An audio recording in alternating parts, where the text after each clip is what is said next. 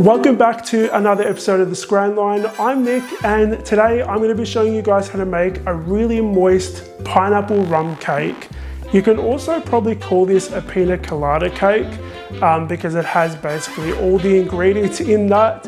Um, but this guys is such a delicious cake and I actually had to get it out of the house when I made it and to my neighbors so that I wouldn't eat it all. Let's get stuck into the recipe but before we do I want to quickly remind you guys to hit the like button and make sure you subscribe so you can keep up to date with all of my latest recipes. We're going to begin by adding the flour, baking powder, bicarb soda and salt into a large mixing bowl. I'm just going to use a hand whisk to whisk this together until it's really well combined. Set that aside. Next, we're going to add our eggs, sugar, and brown sugar into a larger mixing bowl.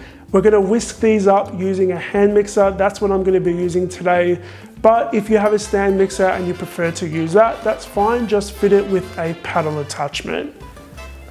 We're gonna whisk this up for a couple minutes and you're gonna notice it's gonna go really frothy and pale. I know it looks really delicious. Try not to eat it all because you need it for the cake. Once it's nice and frothy and pale, you're gonna add some rum, coconut milk, coconut oil, and some vanilla extract and mix that until it's really well combined. We're gonna add half of our dry ingredients and mix that into the wet ingredients. Once that is really well combined, add the rest of the dry ingredients and repeat. You wanna scrape down the bowl just to make sure that the bits at the bottom all get mixed into the cake batter evenly. Now, the bit that makes this recipe so delicious and moist is actually the crushed pineapple. So today I'm using canned pineapple, which I've just crushed in my food processor, but you can use fresh pineapple as well if you like. You want to use a spatula to fold that into your cake batter and we are going to be transferring this into two 8 inch cake tins. I've just sprayed them with some oil and lined the bottom with some baking paper. Once that is done, you're going to pop these in the oven to bake. Once they're baked, let them cool down completely. I'm actually going to be making a simple syrup because I want to brush my cakes with it to make them even more moist. So to make the simple syrup, we are going to be adding some water and sugar into a small microwave safe bowl. You want to whisk that together. We're going to microwave this for about two minutes. Once that sugar is completely dissolved in the water, add a little splash of rum in there and just mix it together. Set that aside to cool down. Now for this recipe, I'm gonna be using my delicious cream cheese frosting and you can grab the recipe for that up there. If you wanna watch me and learn how to make it, click up there.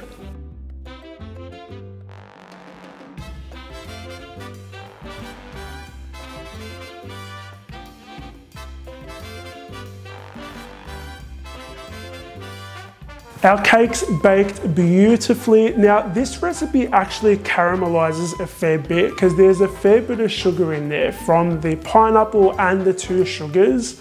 So that's completely normal. Don't freak out about that. We're going to trim each cake in half, which is gonna give us four layers of cake. You want to add a little dab of cream cheese frosting on top of a 10 inch cake board or a serving plate and spread that around a little bit. You're gonna add your first layer of cake and I've actually brushed these with that simple syrup that we made earlier just to give them a little bit of extra moisture. We're gonna pipe a ring of cream cheese frosting on top of that cake layer, fill it with some more cream cheese frosting and use a spatula to spread it out evenly. Add the next layer of cake on top and repeat that with all of the layers until you get to the last layer.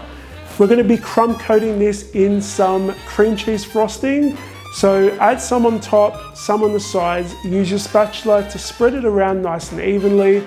It doesn't need to be perfect, it's just about trapping the crumbs in the first layer of frosting so they don't show on the final layer. Once you've got it as neat as you can, I'm a bit of a neat freak, so I like to get it nice and neat looking. You're gonna pop it in the fridge and let it chill for a couple hours. We're going to frost some more cream cheese frosting on the outside of this cake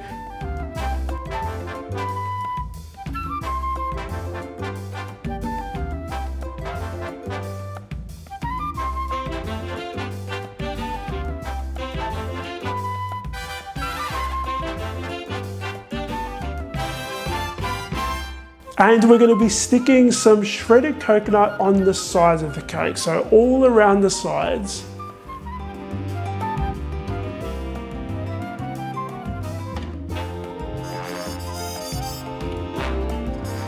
I fitted the end of my piping tip with a large open star tip. I'm gonna frost some swirls on top of the cake. Now I've just cut some fresh pineapple into some wedges. It's really, really easy guys. So I'm just showing you on screen just how easy it is and it's really, really delicious.